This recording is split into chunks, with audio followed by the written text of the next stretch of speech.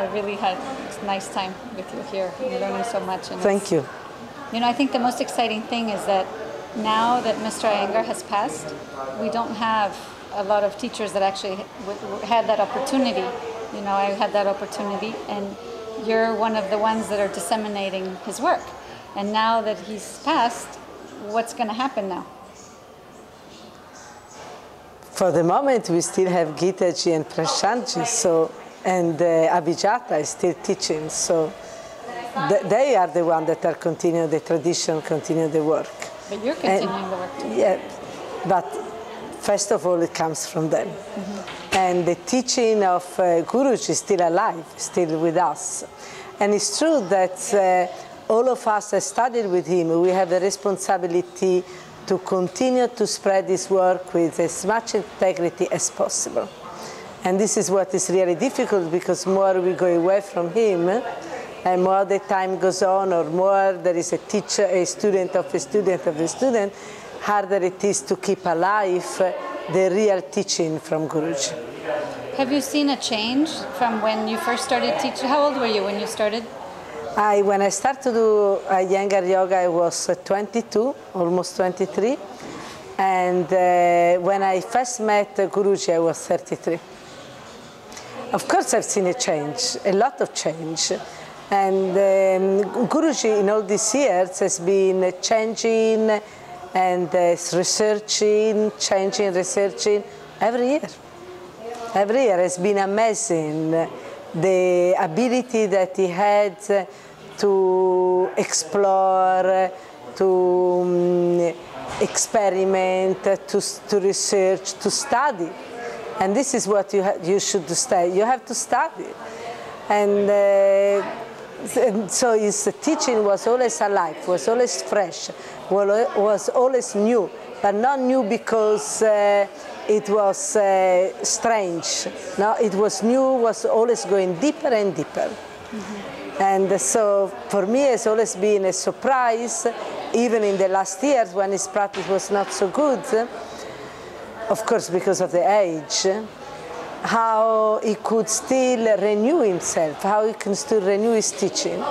And uh, to be honest, even if his practice when he was 95 was not like it was when he was 50 or 60, he could still do more than I can do. I remember him saying at one of the the last time I saw him, that one of the few times that, that I saw him, that he said that he thinks that he had a secret plan to allow him to continue practicing into his old age uh-huh. because of all the props.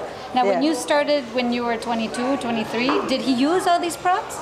Okay, when I start to do yoga, I, uh, I start from the first day of Iyengar yoga. We did not have sticky mats, we did not have belts, we did not have blocks, nothing, only the carpet.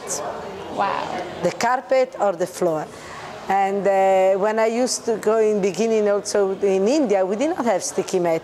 We were doing yoga directly on the tile on the floor? floor, yes.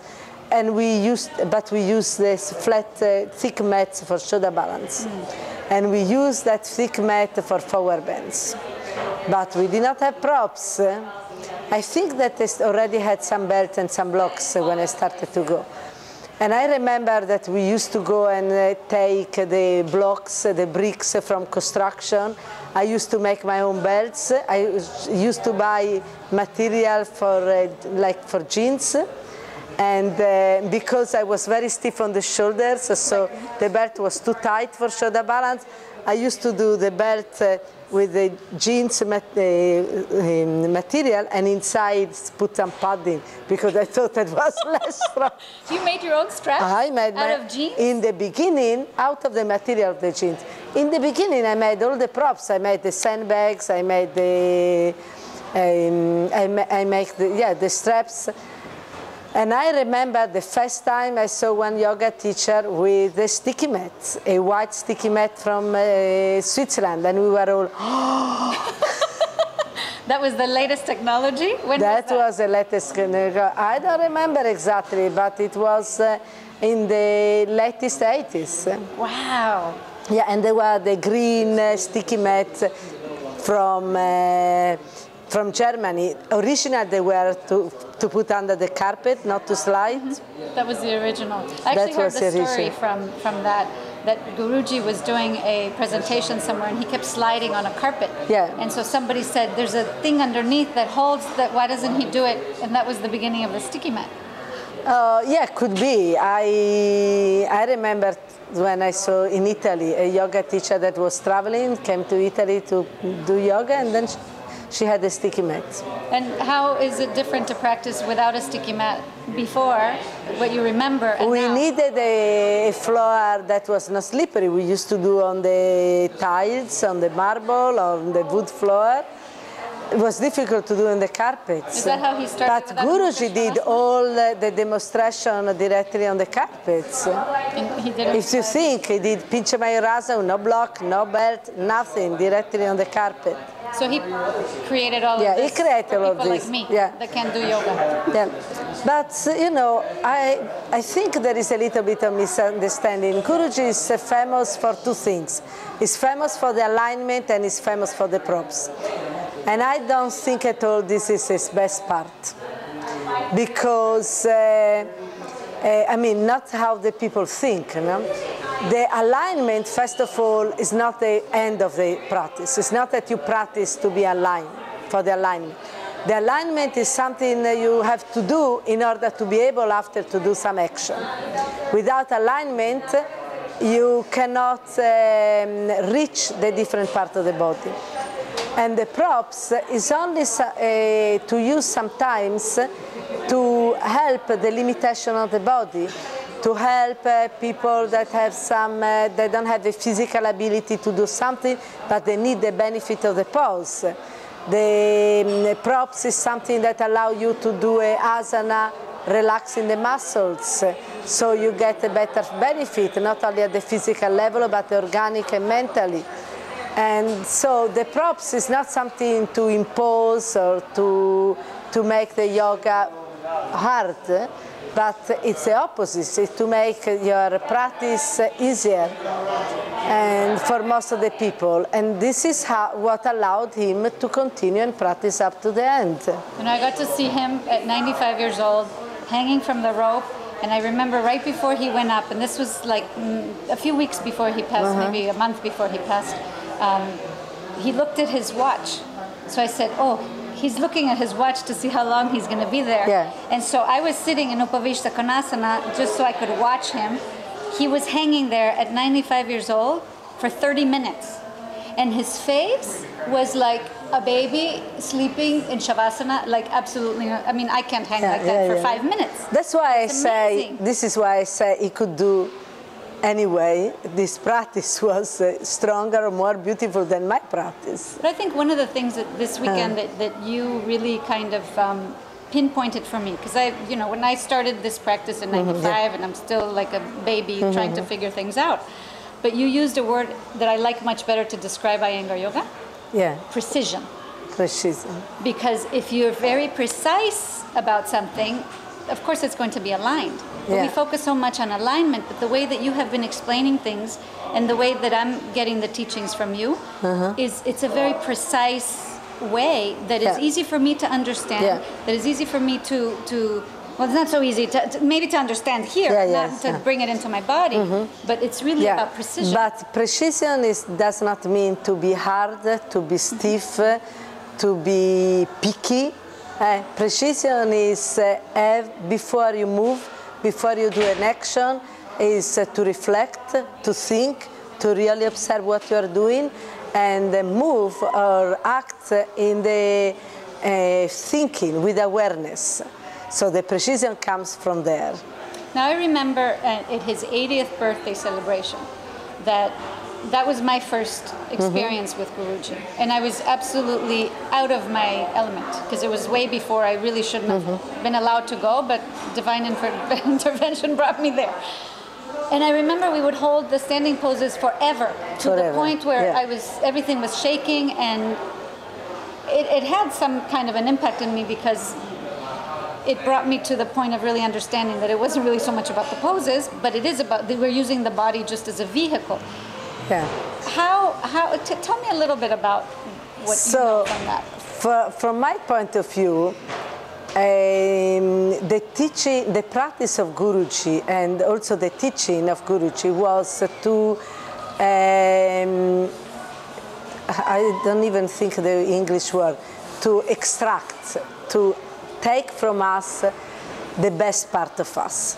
So usually we stop uh, before our limitations. So we have a lot of excuse. Oh, this is tiring, this is painful, this is here.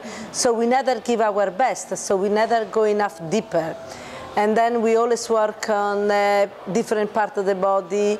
And like uh, you work on the arms, uh, on the chest, forget the legs, you work on the legs and forget. So his practice and then the beauty of his teaching was the ability to make us work everywhere in the body, to connect all the different parts of the body, to make us uh, uh, really give our best. That was not our maximum. It was not something that was beyond our uh, capacities, but was uh, to, to touch the unknown, to arrive to the point where you could not go alone. And I remember sometimes uh, he helped me to reach to to do some asanas. And once I remember he corrected me and uh, helped me to do Marichasana 3. And I felt like uh, I was doing a double that what I was using, not a little bit more, it was double. And so I thought, why I cannot do alone? So every time he was helping me, every time he was reading, why I cannot do the same alone. What, what happens? So very often, I mean, most of the times when I practice, I, I think uh, what is missing, what's, uh, why I cannot reach, why, uh, what is holding me back, and how can I give of myself what I used to do when I was in front of Guruji. And this helps me no, to, to express a little bit more, to go a little bit more deeper, because uh, when, uh, when he was helping us, adjusting us, it was a full experience. Uh, you could feel from the tip of the little toe to the, to the crown of the head, to the tip of the finger, no part of the body was missing and no, and the mind was integrated. The mind was there, and this was the beauty of his practice and the beauty of his teaching. And the, uh, very often, the, the, the practitioners think that uh, to do yoga is uh, to bend more, to do a dif more difficult exercise, to do something more. So they distort the body, they distort the joints, they uh, overextend the muscles. And this was not the point. The point was not to, uh, to stretch more or to bend more, because otherwise you ruin the body. The, the work was, it is, to integrate different, different, every part of the body. And uh, not to forget any part of the body doesn't matter if you're still, if, you, if you're moving, and uh, be fully integrated, be fully there with your mind, with the body, with your uh, intellect. And for me, this is the most important teaching from, from Guruji. That's what kept you coming back every year? That is what kept me, and it will keep me going back every year. And this is what uh, make uh, the, my yoga life. And this is what create my interest because this work is not boring. And when I teach, um, I try, in, in, all these years of teaching, I'm trying to, to mature in my teaching in the sense, and this is something I do with awareness, not to explain and just explain, not to be a teacher that is very good on talking and explaining, but not good on making the student feel feel that experience. Mm -hmm. But to, yes, a little bit to explain, but uh, at the same time, I'm trying to best, my best to repeat what Guruji was doing, make you experience, make you feel really what I'm saying. and if I don't do it, I get upset because I want you want, I'm, I'm trying my best to do. Patience. yeah, I don't have patience. I mean, I was joking. I And, um, and when, so when I'm not able to do it, then I, I, there is a little frustration. I say, why? What was missing? Why I did not do it? And I don't want my explanation to remain only a mental explanation, something that you remember in your head, something that makes your head Explode. your explode, your brain full, eh? your mind going on and going on, and then then then say, and then what? What was it? How do I do it? You know? And, and so with my hands, with my help, and with my with my words, uh, to make everybody to feel what they are able to do it. Did you ever like? Did I don't I don't know this Uh. far back, but did you do teacher training with Guruji? Did he like put you in front and you teach in front of him and No, he tells you? no, what I to never do? did How it. did, I how, never How did did you it. get trained? Who? I. How did it happen? I, it, I mean, I did this with my my teacher. That uh, when I started to do yoga, I did yoga with Donna Holleman. So I did this work with her. And the way we did the teacher training was uh, she told us we were four people that she was training. She told us what asana to teach, and she gave a little piece of paper where was written what we had to say. So it was four asanas, and I remember the first class I had four students, and she was watching. And then I forgot to teach one asana. I taught only three asanas. And then when I went back home, I remember, Mamma mia, I forgot that asana.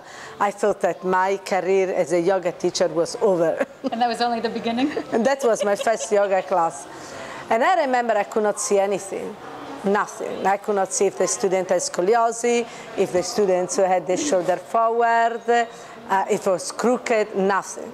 And now I can see even when the person is dressed, uh, if one leg is shorter, longer, how is the pelvis, uh, how. On the beach, I'm sure you have a good time. Yeah, I have a watching good time on the beach, yes. I have to close my eyes on the beach. I can look. I, I want to go and give them, you know, Some correction, right yeah. Ribs Yeah, up. can you please? It's very painful. Can you please take the shoulders back? So uh, this is, was my training. And this- it was more, uh, yeah, it was practical. But at that time, we, we were not many teachers, we were not many students. So it was easier to do one by one. And at the same time, I assisted and helped in the classes for 16 years. Mm. One, six. So you had a hands-on training with Guruji. No, no, no. I did this with Donna With Holleman. Even if I was going to Guruji, I mm-hmm. did with her. So I helped in the classes, and I used to go and be in the classes every single day. Summer, winter, vacation, non vacation. That was my time, and I did, and I did uh, always uh, But didn't you have a helping, helping, helping. I, I worked only for one year as um, uh, I was in, uh, I had a, how can you say, little job at the university in physics. I, I was uh, substituting a assistant. So what I did, I was helping students in the laboratory how to use the scale, how to use the lens, how to measure this, and this is what I did for one year. Then after that, I had uh, I had to choose if uh, to try to continue or with the physics or to do yoga, and uh, it was a very difficult decision. It was a very difficult decision because at that time yoga was not popular, and uh, I had only four students. I still had four students, and um, and so to to choose a yoga was really to jump in the in the darkness, the in the unknown. was in the unknown. And but I choose to follow my heart because I knew that when I was in the yoga class I was happy like I was happy before when I was studying uh, mathematics and physics, to be honest. But slowly, slowly, my heart was going from one direction to the other direction. And uh, I, I told to myself, or you try now, or finito. And I did not want to do a little bit here, a little bit there. I had the idea that anything you choose, you have to do really well.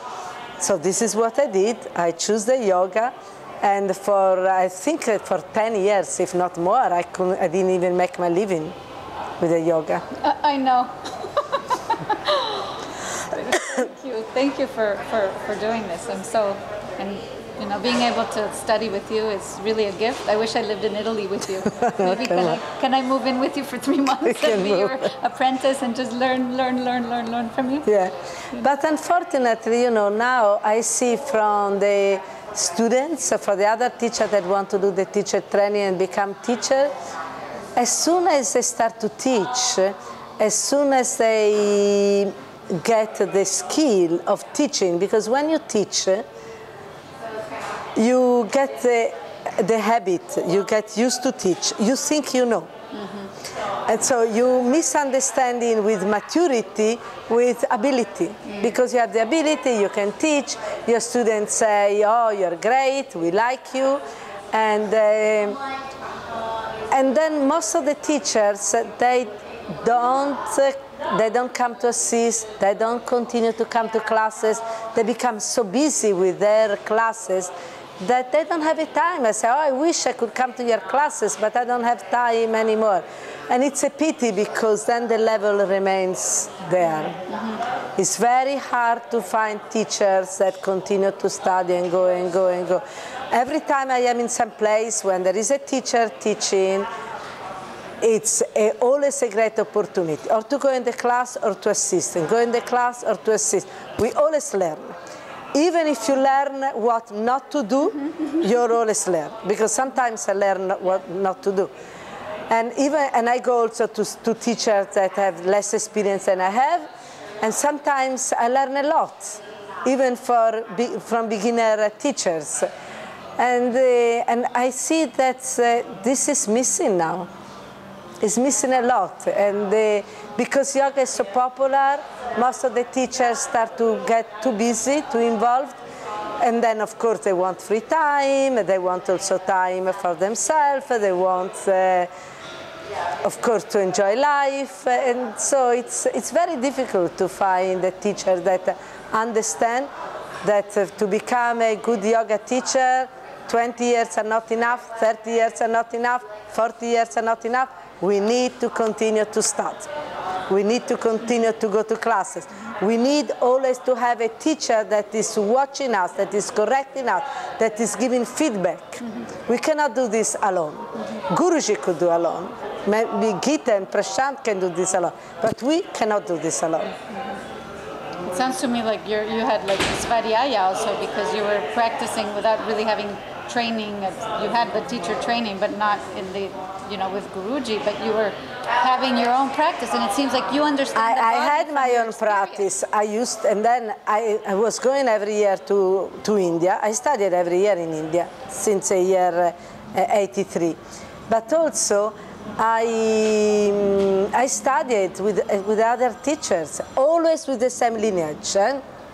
Always Iyengar yoga from the first day. I was very lucky. I know this.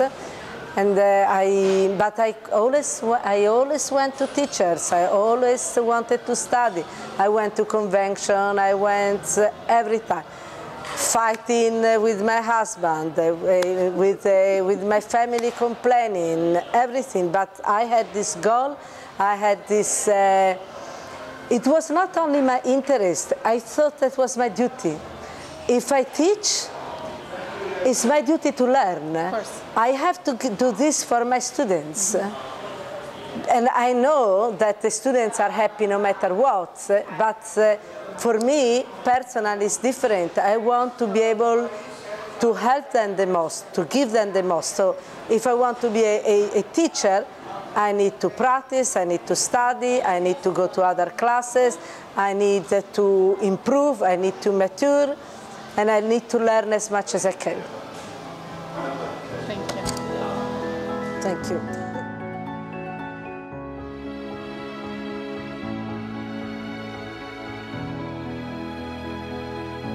Eh? But this is how you understand, eh? Okay, now come up. When you come up, don't let the belly be on the floor, eh? Okay, the pubic bone has to be on the floor, but not the navel.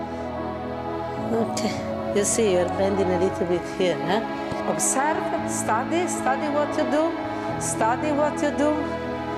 Maintaining more lifting here, study what you're doing, study what you're doing, extend the shin, lift the back of the thighs, take the sitting bones down. Lift the back of the thighs, take the sitting bones down, then put the hands on the feet